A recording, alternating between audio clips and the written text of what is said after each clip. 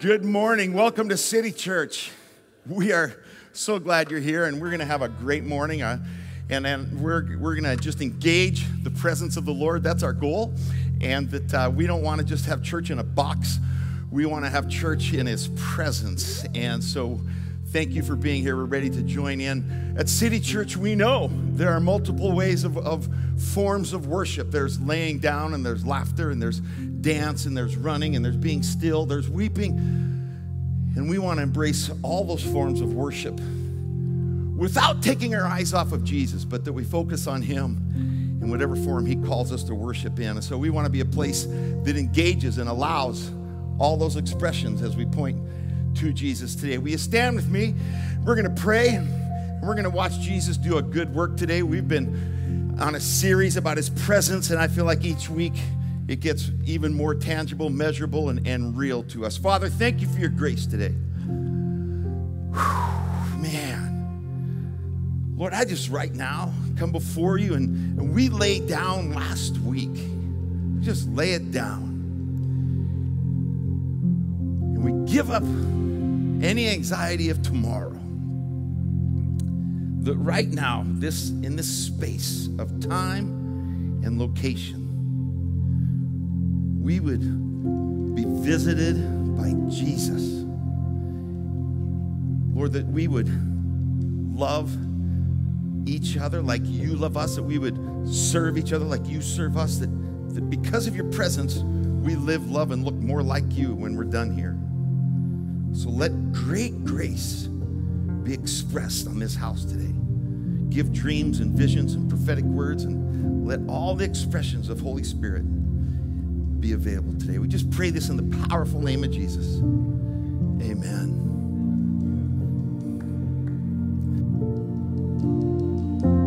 Psalms 150. Let everything that breathes sing praises to the Lord. Let everything that breathes. All of you are breathing right now. Everyone take a deep breath in.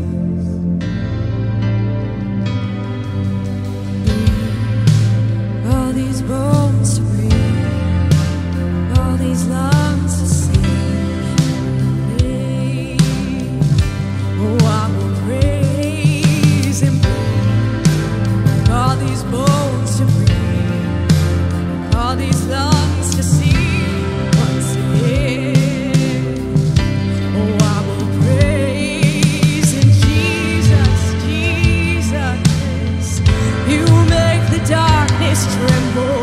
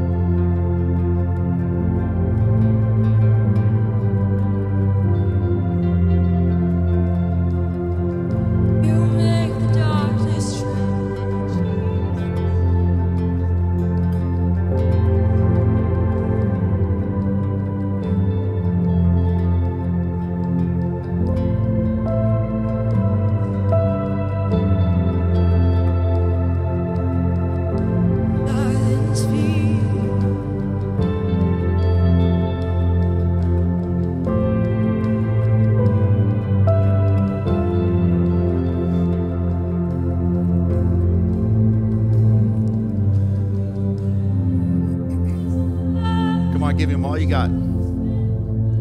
Come on, sing it through. Sing it through.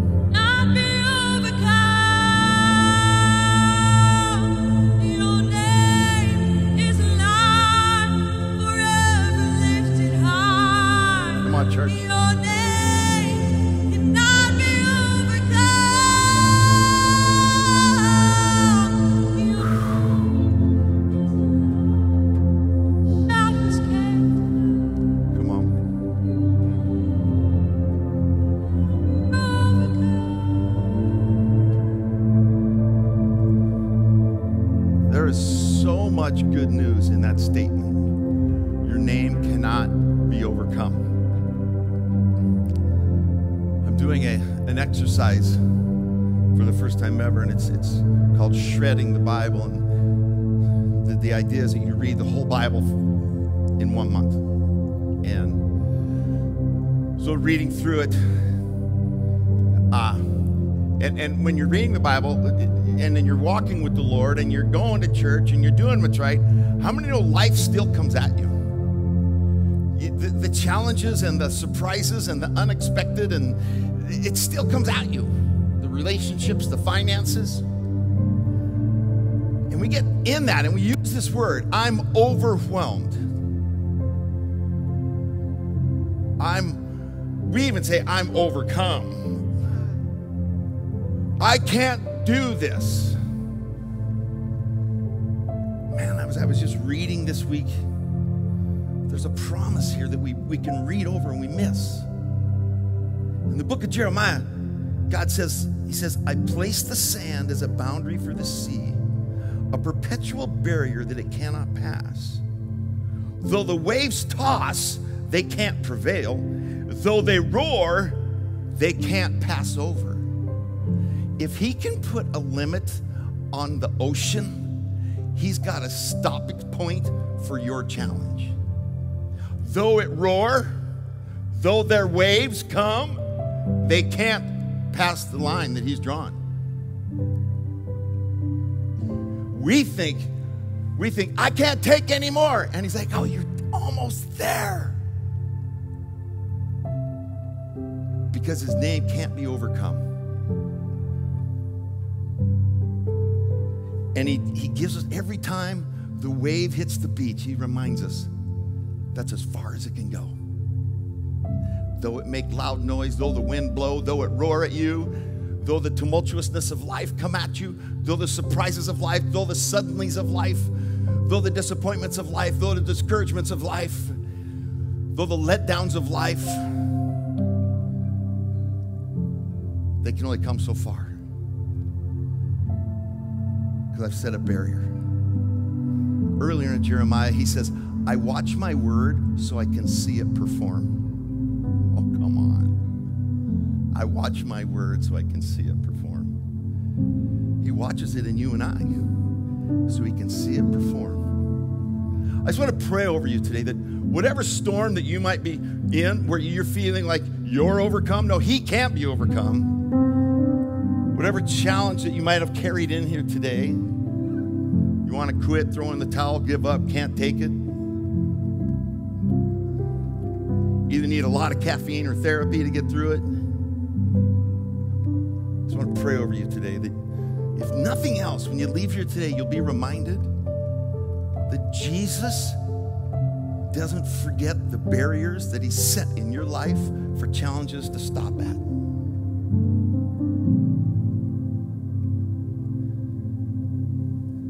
When, when the enemy can get us to focus on what's inferior, we stop living like we are superior in Him. Let me pray over you. Father, I thank you right now that you cannot be overcome. You cannot be overcome. I don't want to just sing a nice song or have a great anthem. I want, Lord, I want to believe you cannot be overcome.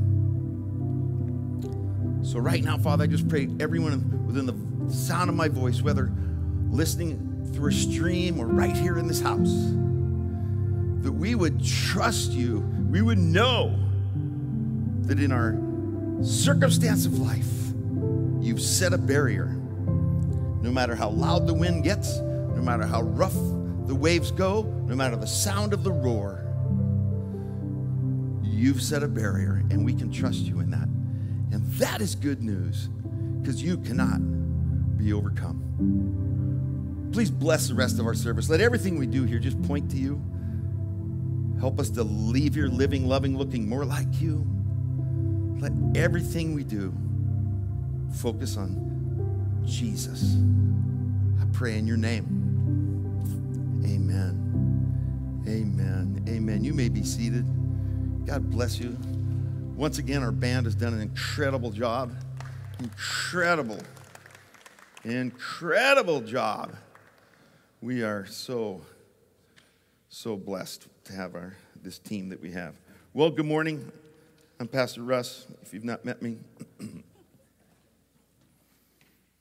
if you're a first time guest with us, we ask that you would either uh, go online and fill out a first time guest card or grab a card by one of the orange boxes and fill this out.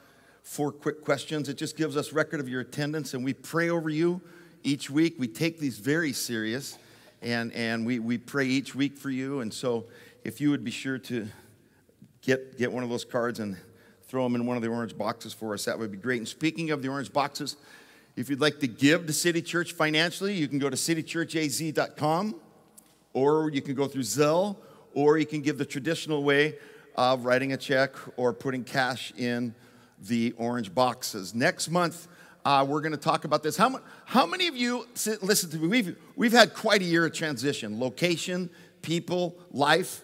How many of you were attending? No, how many of you were not attending last February, one year ago? You were not attending City Church. Let me see your hands. I, want, I need to see your hands. Look at the majority of you. That's why every February Pastor Russ talks on tithing. How many of you that were here remember the messages? You do not. You remember the principle, you don't remember the messages. You don't remember what you had for breakfast yesterday. Bacon. it's always the right answer. We had bacon. Yeah, it's like a little kid in Sunday school. Jesus. He answered everything. Um,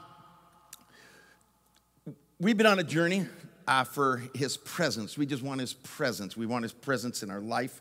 We want his presence in our church. And, and this is this this month of pursuing his presence is really setting a foundation for our whole year. Everything we do this year will be predicated on is it inviting his presence or does his presence change us? Even next month, talking on giving, we give to manifest his presence. He, not, not for any other uh, reason, not for, not for the slot machine, put money in, get a gift out. No, we give because it's his presence. And, and, and, and so we're really pursuing that. So I hope if you've been on this journey with us, you're taking the first 15 minutes of your day and just worshiping, just turning on some worship music before you do anything else in your day and just worshiping, just giving him the first 15 minutes, inviting in his presence. Inviting in his presence. Let me remind you that that is the only time of your day that you really can control. Once the children get up, it's over. Once you leave your house and go to work, it's over. There's no more. That first 15 minutes is what you can control. And I hope that you're spending it in worship uh, in His presence. And then finally, remember this Wednesday night, Spencer's Place Coffee Shop, worship and prayer. The last two weeks have been incredible. They have been so good. And uh, I, think, I think we've almost filled every chair that's, that's there. Um, and so let me just remind you this Wednesday, 7 o'clock at Spencer's Place Coffee Shop here in Surprise. So I hope you'll, you'll join us. Um, I, I need you to get your Bibles and open them to the book of Isaiah, Isaiah chapter 6. And, and I'm going to go there in a moment, but we're talking about his presence and, and the, the, the importance of it. And, and it's such a huge topic that that I really feel like I could talk on it for the whole year and never really cover it. Uh, you know, his presence shows up in our trials. Uh, there, there's, I was thinking yesterday, there's, there's a whole sermon series right there. Uh, if you remember uh, the three teenage boys in the book of Daniel that got thrown into the fire, and, and old King Nebuchadnezzar looks into the fire and he says, How many did we throw in the fire? And told we threw in three. And he said, Why is there four? And one of them looks like the Son of God because in our trials, His presence shows up.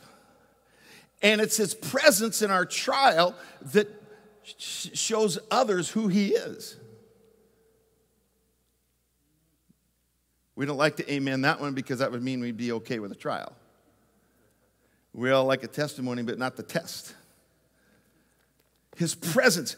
Uh, uh, let me read a couple of Psalms to you just to get us going. Listen to Psalm 16 11. You make known to me the path of life. In your presence, there's fullness of joy. In your presence, there's full. There's no other place to be more happy than in his presence. In your presence is fullness of joy. That means there's, there's you can't get any more joyful Nothing, nothing in this world is going to give you anything more than what his presence will give you. In his presence, there's fullness of joy. Acts 3:20, listen to this. Times of refreshing may come from the presence of the Lord. Times of refreshing may come from the presence of the Lord. You want to be refreshed? You want to feel like you just took a spiritual shower? Just get in his presence. Just get in his presence and, and just, just, just let it run over you. There's, there's, there's fullness of joy and there's refreshment in his presence. We've got to pursue it. Isaiah 6:1, familiar probably to, to some, but we're going to take a little different angle, different look at Isaiah 6:1. Uh, and we're gonna we're gonna see we're gonna we're gonna look at what, what we can see. There's three there's three views in this this portion of scripture. Isaiah 6:1. In the year that King Uzziah died, wow, this is so good. In the year that King Uzziah died, I saw the Lord sitting on a throne, high and lifted up. The train of his robe filled the temple. Above it stood seraphim, and that's that's plural there's, there were several angels. Above it stood, stood seraphim, plural. Each one had six wings. With two, he, he covered his face. With, with two, he, he covered his feet. And, and with two, he flew. And one cried to another and said, Holy, holy, holy is the Lord of hosts. That's, we'll come back to that, the Lord of hosts. The whole earth is full of his glory.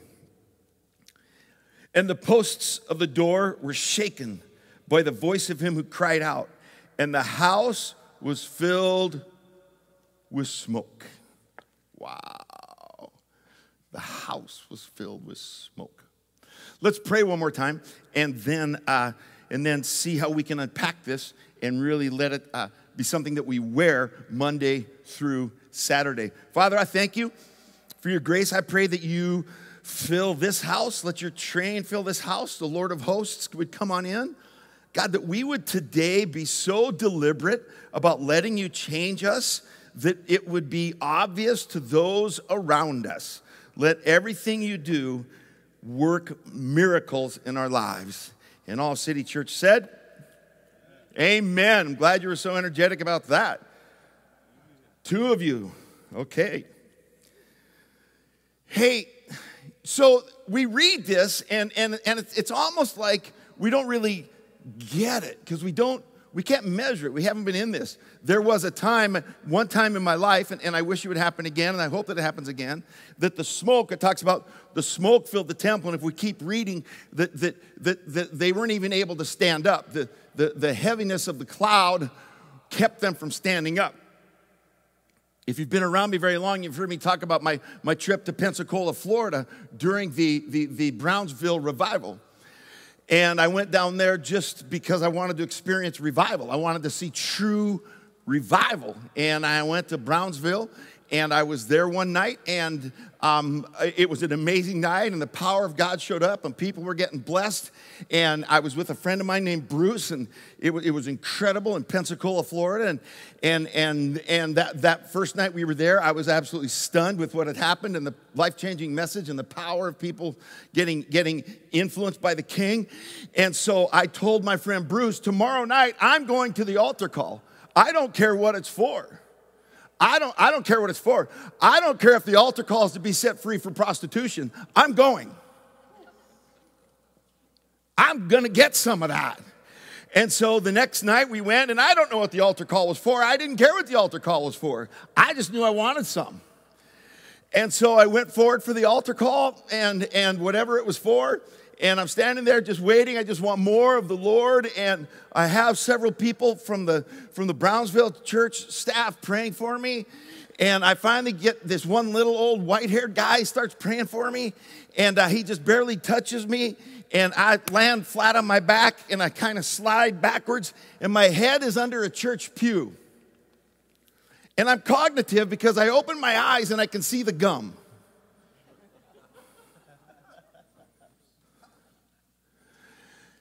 And I, and I think, I'm, well, uh, that's, this is crazy. I'm going to get up.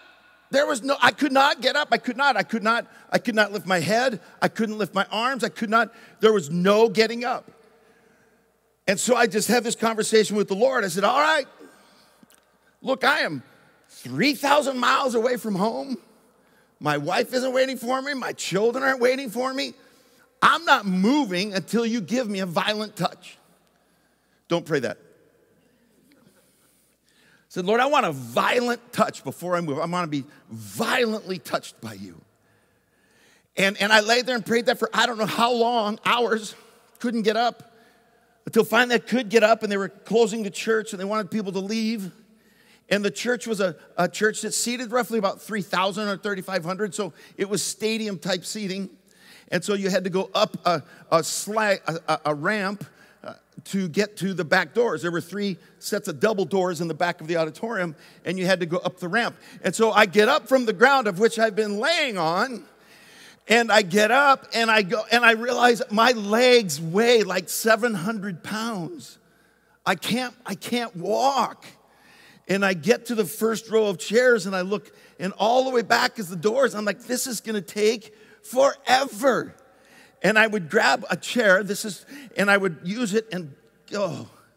And I would grab the back of another chair and go. And that's how I made my way to the back of the church. And as I get to the doorways, the three doorways, I, I begin to, I'm walking out a doorway, and there was these two little gray-haired ladies. I don't know their names, but because I was a visiting pastor, I had a big yellow sticker that said Brownsville Visiting Pastor. And I was trying to leave, and these two little gray haired ladies in the doorway said to each other, Look, Mary Beth, it's a pastor. And these two little prayer warriors laid hands on me and started prophesying and praying for me. And I dropped in a pile, like I am sitting in the middle of a doorway of 3,000 people trying to exit. And I look through the legs of people and I can see my buddy Bruce. And my buddy Bruce is looking at me and he's like, What are you doing? And I just said, I don't know. And I'm sitting there and I cannot get up. And suddenly, I am scooped up.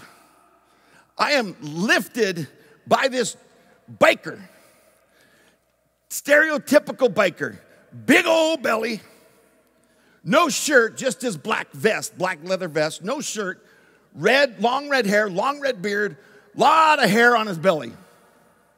Lot of, lot of hair on the belly. And he picks me up and he says, I'll help you, brother. And, and I'm six foot three, a couple hundred pounds, and I'll help you, brother. I'm like, good grief, I'm in, who's got me? And he carries me outside and he puts me down on the grass in front of the church and he says, God bless you. And he walks off. I, I hope in heaven I meet this dude. I don't know who he is, but I think he saved my life. And I'm sitting there and I'm looking around, and there's people laying down, there's people laughing, there's people dancing, there's people crying, there's people standing in odd postures, and I'm thinking, this is the day room of an insane asylum. This, what is this? And I look across the parking lot and I can see the car that Bruce and I had rented, and I needed to get to the car. I just, I just got to get to the car. And so I stand up, and as I stand up, I get surrounded by this cloud. This, this, this, this cloud. And at first, it kind of scared me. It's like, what? This cloud. And I can't move, but I got to get to the car. So I reached out and I could move the cloud so I would take a step. And then it would come back around. And I took a step. And this is how I'm going across the parking lot like this. But I'm the only one that can see the cloud. This van pulls up of people. It was called the Glory Van. They get out and they start taking pictures and they're going, Look, he's swimming. It's a swimmer. And I'm just thinking, I have just got to get to the car. And I look down and Bruce, who's the associate pastor of the church I'm on staff with, is rolling in the parking lot. I'm like, this is this is out of control. I can't walk. Bruce is rolling. People are taking pictures. I just want to get to the car. and, and I and I'm and I just finally I finally get to the car and I sit in the car and this cloud is just it just fills the car. It fills the car. I'm like, oh man. So we get to the hotel that we're staying in and we go in and and then I just lose it. I just start laughing. I just laugh. I just laugh and they just laughed. Nothing nothing was said. I just laughed. I, in fact, I called my wife, I called Tracy, and I was going to tell her about the night, but I couldn't. All I could do was laugh. And finally, I think she just got disgusted and went, See ya. I just, it was all I could do in this heavy cloud. And we finally fell asleep, and I woke up the next morning and I thought, ah, well, I wonder if that's real. What was that? So we go down to where they had a continental breakfast, and we wanted to quickly get to the church because they had some morning seminars on how to pastor revival. We didn't want to miss those. So we're in the we're in we're in the, the, the lobby of the hotel and and continental breakfast, and it was you, you there was two lines on each side of the table, and you would just kind of take your plate and, and get and and, and we're going down, and there's a little kid on the other side of the table. Little kid, like 10 or 12 or 8, little kid. And he's just staring at me. I've never been intimidated by an eight year old kid till then. I'm like, what are you looking at? And he taps his dad and he goes, Dad, it's the swimmer. I lost it. I'm on the ground howling. Well, we didn't know that the whole place was full of people that had been attending the revival. And these two African American ladies jump up, back in those days, plug in the, the, the, DVD, plug in a DVD. Well, it's Brownsville worship. They start dancing in the, in the lobby. People explode in worship and praise. The poor guy behind the counter realizes, I have lost total control of the hotel. I feel like we're in trouble. So I said to my buddy Bruce, We got to get out of here. So we filled our pockets with hard boiled eggs and bananas because it was free breakfast. And we went, we got in line, we got in line for, for, to go to, to the revival services. And we were sitting there, and I was just journaling what had happened the night before. On a side note, my buddy Bruce gets us in trouble because sitting in line behind us was a couple from Norway. I mean, this was a world revival, world revival for eight years in Brownsville. And behind us in line was a couple from Norway. And this gal from Norway was very, very European, very, like very. Like all she had on was a sundress. That's all she had on. And, and, and this is not insulting. I'm just giving you a picture. Her, like, her legs had never seen a razor. She was like very, very and and with a with a heavy accent. And so my buddy Bruce, whenever the Holy Spirit hits him hard, for some reason, his hand shoots out. He just goes ah, and and it's just ah. The Holy Spirit hits him. So we're sitting there, and so Bruce gets out some sun lotion. And he grabs a sun lotion and he opens it and he goes, ah, and he squirts it. He squeezes it and it sprays on this lady who's only in a sundress. And then he reaches out and starts wiping it. I'm like, oh, Bruce, we're going to jail, bro. It's, it's over. It's, it, we are going. You just, you just assaulted a Norwegian lady. But as I'm journaling, the Lord showed me two pieces. One, the prayer for a violent touch is, is super biblical. I didn't know that. When he breathed into Adam, it was a, a violent breath. And when Holy Spirit showed up in Acts 2, it was, it was a violent wind. And when his presence shows up, he wants to do something violent inside of us. Not painful, negative, fearful, but there's just not another word to describe the place that he wants in our life. And then I began to read about the cloud and for those few moments walking across that parking lot, I was, I was, I was in the Shekinah glory. I was in the cloud. And it's never happened since, and I, I hope that it happens again. But I can tell you that when his presence is real, you're free. I, you, you, just there's there's a there's a full of joy. There's a refreshment in that place. So what did, what did Isaiah see? there's, there's, there's three values that Isaiah, Isaiah saw as, as he wrote this to us. Number one, Isaiah got, Isaiah got to see how big God is. He, he saw how big God is. Uh, it, it, it, it, says, it says that his train filled the temple, just, just the train of his robe. He's so big. And that word filled is, is, is perpetual. His train filled, it kept filling. There was no end. No matter where I looked, there was more train coming. And it was just the train that filled the temple. Isaiah saw the size of God. It was just his train filling the temple. Now, at this time, you got to understand that King Uzziah, we don't know a lot about King Uzziah. If I was to ask you, tell me about King Uzziah, some of you might know that he was from 6 1. But I don't know you really know much history. We know the history of King David. We might know the history of King Saul. We might know the history of Herod. But do we know the history of King Uzziah? Uzziah was, was king for 52 years, and Uzziah restored worship. He restored true worship in, in the temple. And he had so much favor on him that they defeated the Philistines. He was growing in prosperity. His influence was huge. Uzziah had, had there were no enemies that would dare come against him. I'm giving you a quick background on, on who he was. And, and for 52 years, he ran his kingdom this way. And, and, and he had victory in everything he put his hand to. Well, at the same time, there was another king, and he was the king of Assyria. And the king of Assyria was doing his best to take over the known world. But he would not challenge Uzziah because he knew there was favor on Uzziah.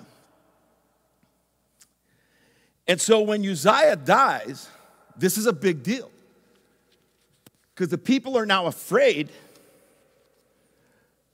The people are now wondering what's going to happen with the king of Assyria.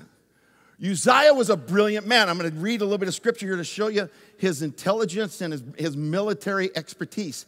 He invented the catapult. We, we never stop and think, gee, where'd that come from? Uzziah invented the catapult. Watch, watch this just description on Uzziah. So we get a little background. Second Chronicles 26, 14. It says, Then Uzziah prepared for them, for the entire army, shields, spears, helmets, body armor bows and slings to cast stones. Okay? Slings to cast stones. And he made devices in Jerusalem, invented by skillful men to be on the towers of the corners to shoot arrows and large stones. So the fame, so his fame spread far and wide, for he was marvelously helped and became strong. This is Uzziah. Brilliant man, brilliant leader inventor, military expert. We don't have a lot of time to continue reading about him, so I'll summarize that. At some point in his life, Uzziah becomes prideful. He starts, he starts putting himself first, and, and, and he goes into the temple and he starts doing what only the priests were supposed to do. And he was warned, hey, you can't do that. Only the priests do that. And Uzziah basically says, look, I'm King Uzziah bro, I can do whatever I want. And when he said that in the temple, he was struck with leprosy.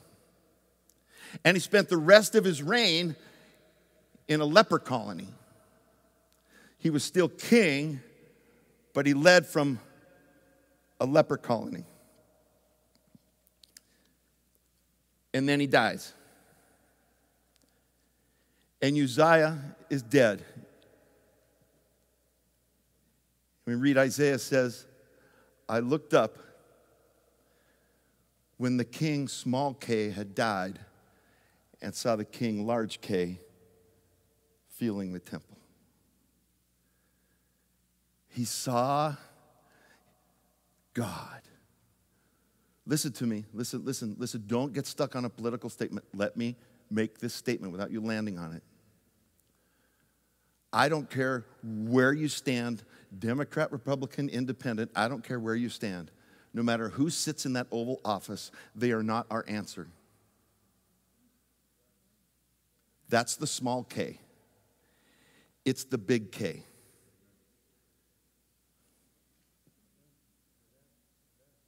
You with me?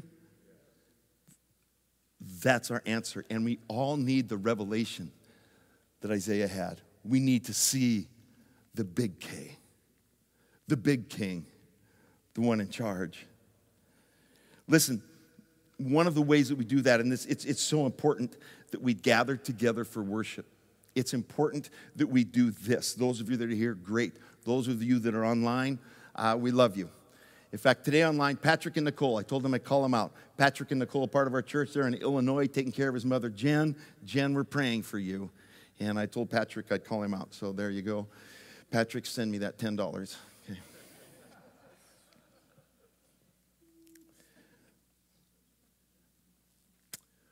It's important for us to gather in this community. Now, I'm going to say some things that if you've around me very long, you know, you know my heart is to encourage you and always to build you up, never to. I don't want to ever motivate you, motivate you with guilt or, or fear. one of the saddest thoughts, I believe, one of the saddest thoughts that a Christian can have is, I can be a few minutes late for church and it doesn't matter. How that is okay blows my mind. If you had that thought towards your job, friend, if you were as late for your job as many times as you're late for church,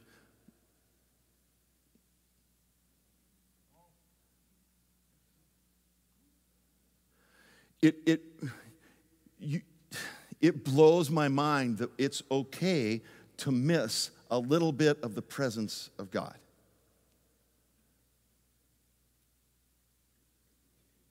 the big K. Because the small k is what keeps us from it. The small k. I could go on, but you already don't like me, so I'll just keep moving forward. I, I, I hear this. No one from here, I, we have an incredible band, but I, I hear this. I just don't like the music, so I come for the speaker. Bro, you're missing the Savior if you're coming for the speaker. Well, you're still mad, so we'll move on. It, it, it, it, blows my mind. It really does. Exodus 25 22. Look at this. And there, where? In the congregation, I will meet with you and I will speak with you. He wants us to gather. Hebrews 10 25, not forsaking the assembling of yourselves together. Here you go. You ready for this question? No, but I'll ask it anyway. Why is church attendance an option? Why is that, an, why is that even optional? This is eternity. This is the King of Kings and Lord of Lords. This is the answer to all the world's problems. This is what's going to solve every, every sickness, every education, every entertainment, every legal battle. We have the answer. And gathering together is an option? I don't know why my voice did that.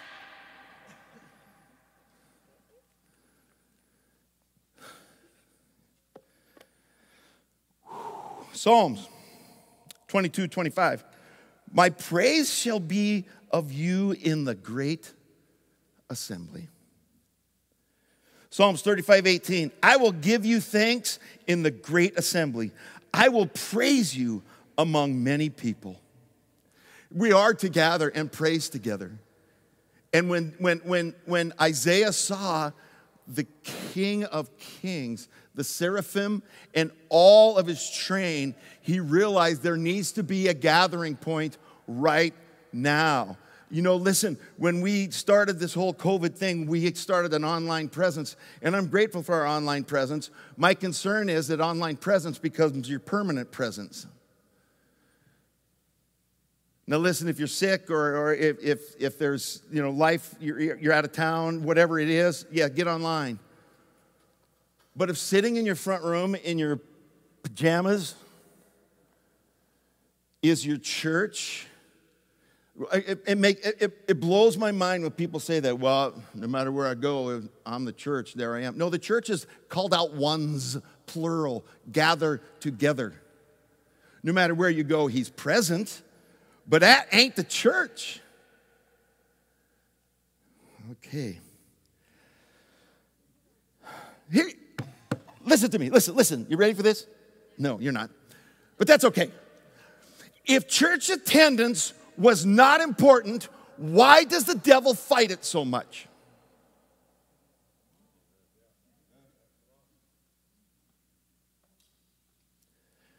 Because it's in his presence. Now, listen, I, I'm, I understand the whole COVID thing and I'm sensitive to that and I get that whole thing. But man, besides COVID or whatever else, if you need healing, get off the couch. Come get prayer.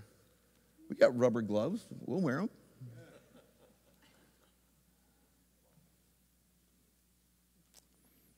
Amen, Pastor Russ. You're preaching so good.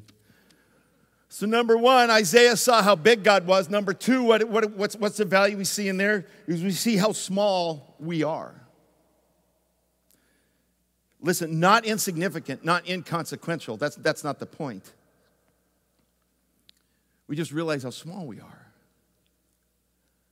It, it, it, too late. I sent some pictures to our team to try to get into the slides today, and, and, I, and I sent them too late. But I, I, I encourage you go, go Google pale blue planet. And it's the last picture that the Hubble telescope took as it was leaving our atmosphere or, or leaving our, our universe, our galaxy. There it is. As it was leaving our galaxy, they told Hubble to turn around and take a picture of Earth. And there's it's a little tiny, bitty, weeny blue dot that if you don't look well, you won't see it. And we run around like we're king of the universe.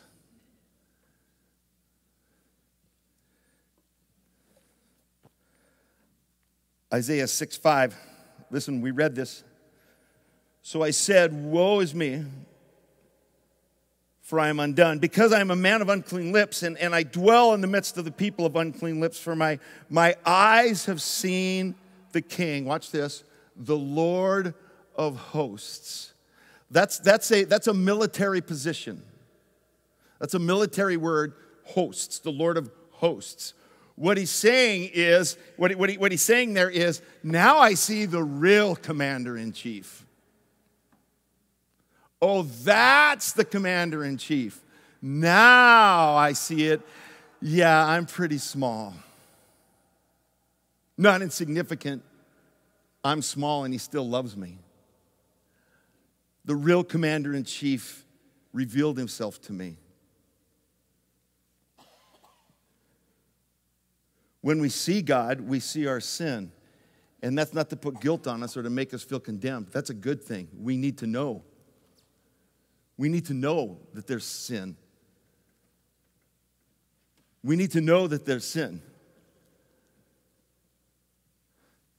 Okay, you don't believe me. So let me tell you a story about your pastor sinning. Somebody just went, oh no. Uh, what did he do?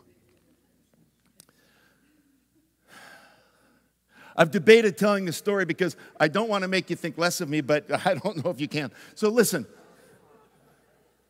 On Wednesday night, on, my wife is like, oh, dear Jesus. Yeah, this might be a good time for someone to invite me to lunch because I'm going to be alone. So on Wednesday nights, we have our worship night, and, and I walk from our house to the worship night. It's a little over four miles, and I just take that time to pray.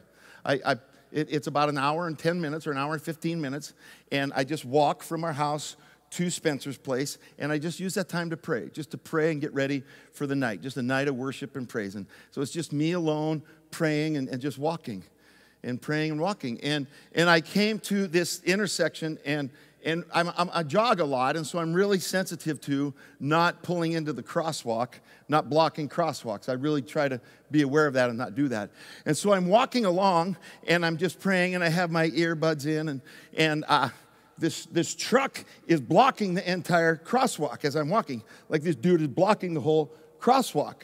And so, uh, so I'm walking, and I, and I do this. And then I walk in front of his truck and I do this, And then I get past his truck and I do this.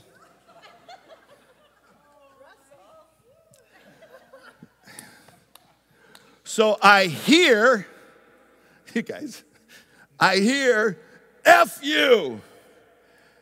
And I think, no, F you. I didn't say it. But then I heard the Lord say, How holy are you? How holy are you? And so I said to the Lord, More holy than that guy. Me and the Lord had a little talk. Do you know that when He asks you a question, He's not interested in the answer? he knows. But there's a, there was a piece of pride in me that I'd have never seen if God didn't love me enough in His greatness and in my smallness. There's a piece of pride in me that I didn't know existed until that momentary encounter. And if I don't spend time with him, I'm not going to hear his voice bring that correction to my life. And I need his voice to bring that correction to my life because he loves me, not because he wants me to feel guilty. I hope that story doesn't make you think less of me. I did have to admit that I took my phone out and had it on video in case the guy stopped and wanted to go at it. Like, oh, oh. And then I, was, I had all these things I was going to say to him. Go ahead.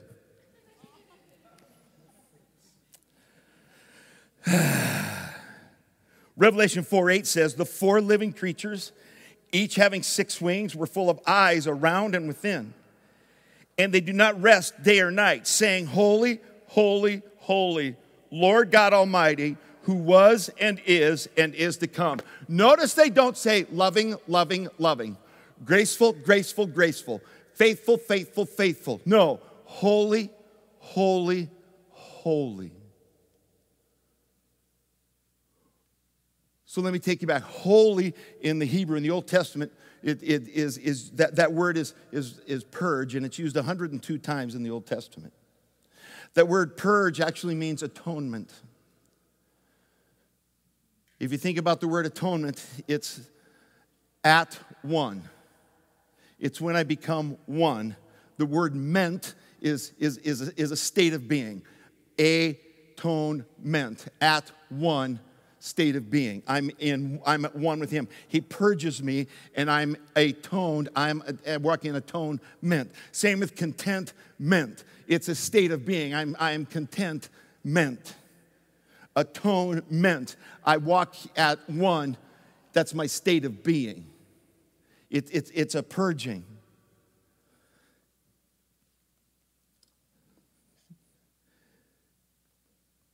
David says in Psalms 22, But thou art holy, O Lord. You inhabit the praise of Israel. Can you believe that? Can you think about that? Can you think about that? he is holy, set apart, completely pure and he inhabits yours and my praise.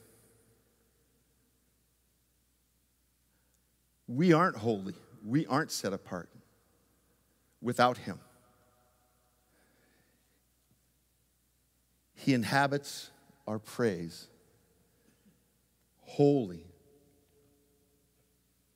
This is why we're we, this is why I want you to be there Wednesday nights. That's why I want you to take 15 minutes of your day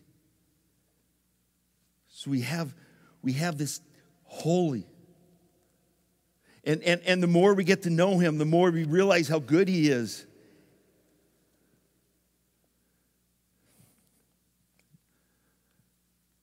I have a friend, he's a youth pastor in Seattle. and he, he's no longer, but he was a youth pastor in Seattle. And, and he worked in the, in the core, the, the, the, the hardest kind of kids in Seattle. And, and their Thursday night youth group was simply called Thursday Night. And he had a few hundred kids would come to Thursday night. One kid he had come to Thursday night would, would, was dealing heroin. And, but he was his number one evangelist. Like this kid would invite other kids to come to Thursday night. So my friend, the youth pastor, had to talk to this kid and say, hey, listen, you can't sell on Thursday nights. Bro, you can't sell heroin at, uh, at Thursday night. and the kid goes, but I tithe. And he's like, no, you, you, know, you don't understand. You can't do that. It's the kind of kid that he worked with. Well, th- this young man brought a young lady with him, and she, she was just barely 17 or 18 years old, but she'd been on the street since she was 12 or 13, and she'd been prostituted and, and rejected by her parents and, and lived on the streets of Seattle and, and, and addicted to drugs. And, and, and, and so she got invited to Thursday night and got a radical touch from Jesus and got her set free. And over the course of the next few months, got her some housing and got her healed and got her restored. And, and she was just becoming the, the, that beautiful woman of God she was destined to be.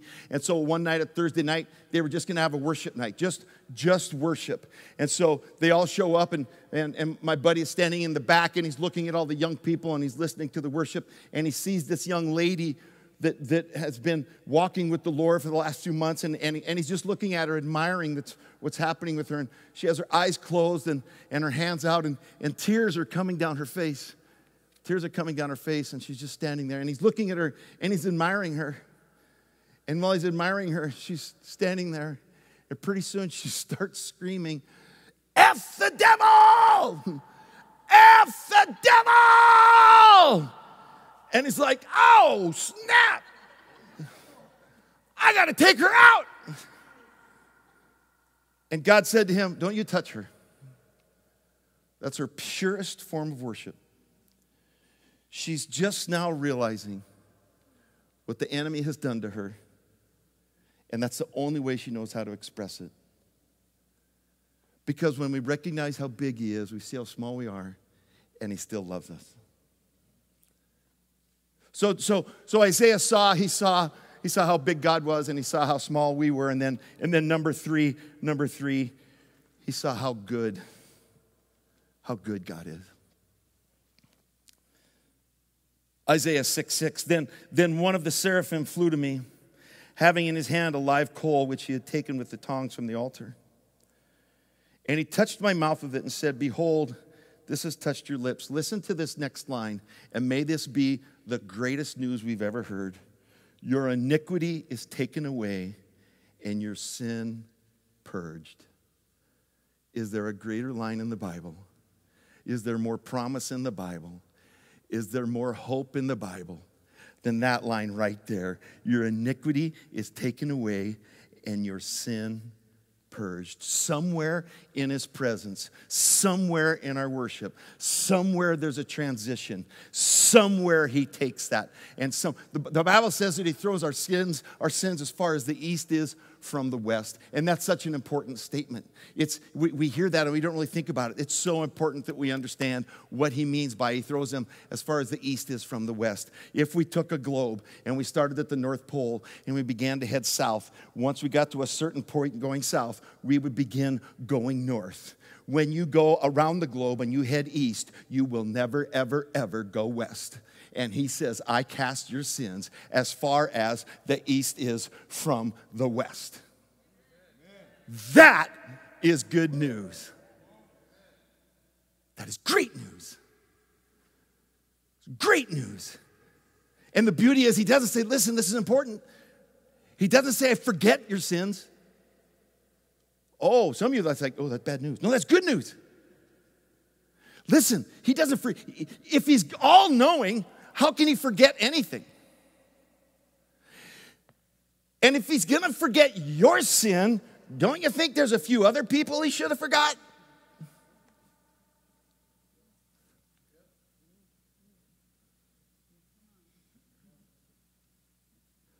But the biggest problem with thinking that he forgets our sin is it's a direct insult to grace. Because grace says, I know you're dirt, and I fully love you anyway.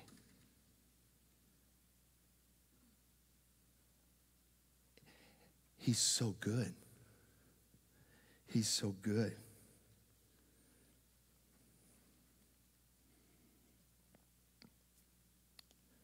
Leviticus 17 11. Abigayle, if you'll come up. Leviticus 17 11 is so important. For the life of the flesh is in the blood. And I have given it to you upon the altar to make atonement. Remember, we talked about that word? At one, there it is. At one meant to make you in a state of being, being atoned. Upon the altar to make atonement for your souls.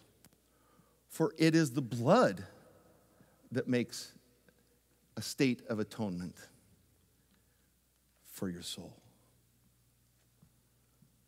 It's only by his blood. Here's the deal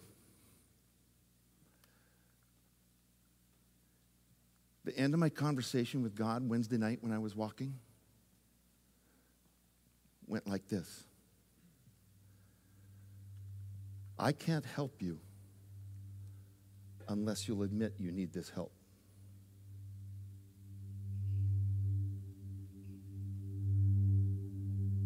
Back in Missoula, we were pastoring, and I had a, a couple that I was doing marriage counseling with, and it was just a brawl. It was, it was horrible. I, in most marriage counseling, there's like 80 20 in terms of fault, 70 30. These two were 50 50. They were just both knuckleheads. And one Sunday after church, I, I, they, they, out in front of church, they fought all through church. They stood out in front of the church and fought all through church. And as I'm leaving church, they're like, Pastor, and I told them, you need to do this, you need to do this, you need to do this. And I told them after church, I said, I'm out. I can't help you. Don't call me. You don't want to do anything I've told you to do. You're on your own. Until you admit, I can't help you. And then I heard that from the Lord Wednesday night. Until you admit, I can't help you. Listen to this next statement really close, okay? Listen to this, the whole statement. Sin is not a problem for God unrepentance is.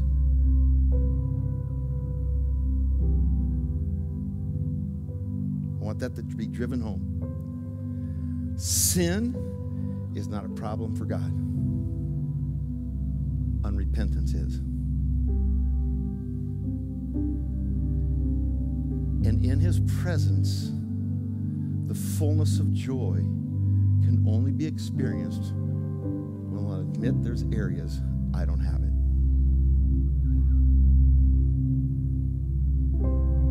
Will you stand?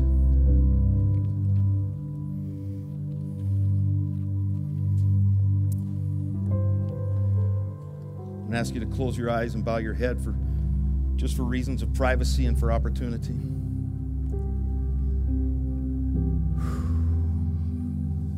In this moment with your heads down and your eyes closed, and if you're part of City Church, you need to be praying right now. Perhaps you're in this house and you need his blood. Oh, I'm not saying you're you don't love Jesus. I'm not saying you're going to hell. I'm saying perhaps there's a place in your life you need his blood to atone you. I needed it Wednesday night.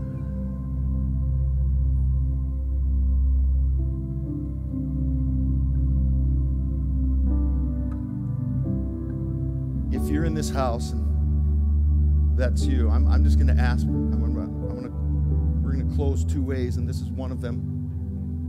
And then our band is going to sing one more song. If there's a place in your life that you need to surrender to the blood, I'm going to ask you right where you're at just to slip your hand up and say, Pastor, I need you to pray for me. Thank you. Thank you. Oh my gosh. Thank you.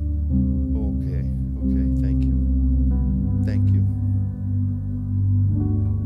I want to pray over you real quickly for everyone in this house I want you to put your hand on your heart as we close, as we turn this over to our worship team for a moment. I'm going to pray over those that raise their hands with your hand on your heart. And as I pray over you, I want you to say, Holy Spirit, what do you want me to do right now? Father, for those in this house that raise their hands, that have a place in their life that they need to turn over to the blood, that you would show them those three views we had today. You'll show them how big you are. You'll show them how small that, that area is and how good you are to wash it in your blood. As they raise their hands of a sign of submission and a sign of surrender, saying, I need the blood in this part of my life, right now, show up and atone that area of their life. And Lord, for those with our hands on our heart, I ask you, Holy Spirit, what are you doing in me right now? Holy Spirit, what are you doing in me right now? This is holy, this is holy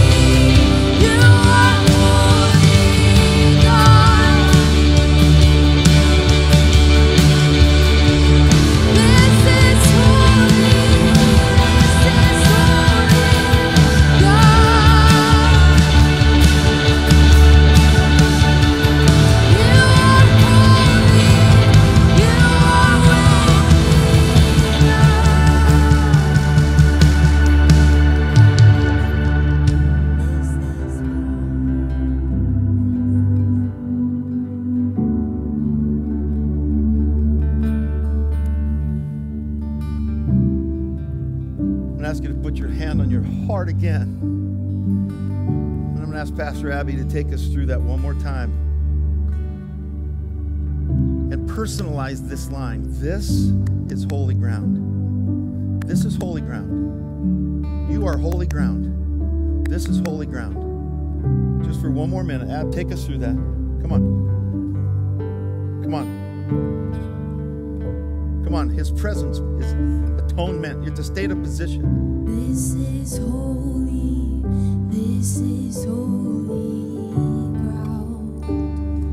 holy ground. I declare it over my mind. I declare it over my heart. I declare it over my soul. This is holy ground. And I will consecrate it to pursue the presence of my God, that I might make him known to all around me. This is holy ground. This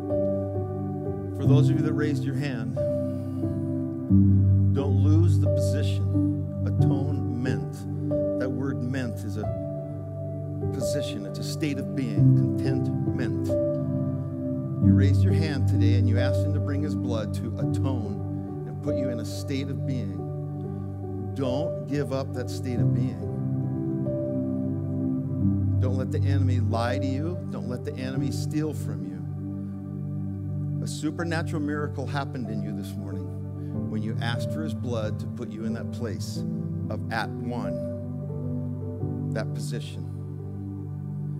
You're leaving here different than when you came in